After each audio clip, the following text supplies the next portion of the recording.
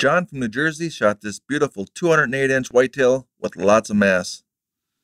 And this is what John had to say. I thoroughly enjoyed my return trip to Apple Creek.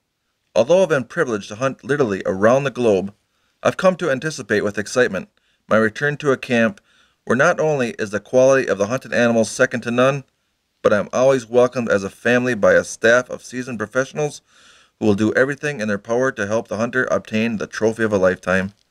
Until next year, many thanks.